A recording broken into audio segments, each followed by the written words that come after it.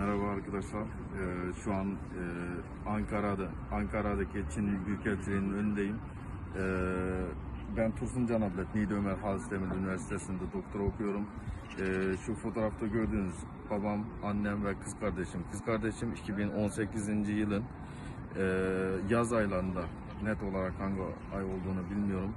Ee, yüksek lisansta tıp fakülte tıp üniversitesinde yüksek lisansta okumaktayken adı eğitim kampı olan ceza kamplarına götürülmüş. Şu ana kadar e, babam annem ve kız kardeşimden herhangi bir cevap alamamaktayım. Şu an e, iki günden beri Çin'in e, Ankara'daki Büyükelçiliği önünde nöbetli bekliyoruz arkadaşlarla.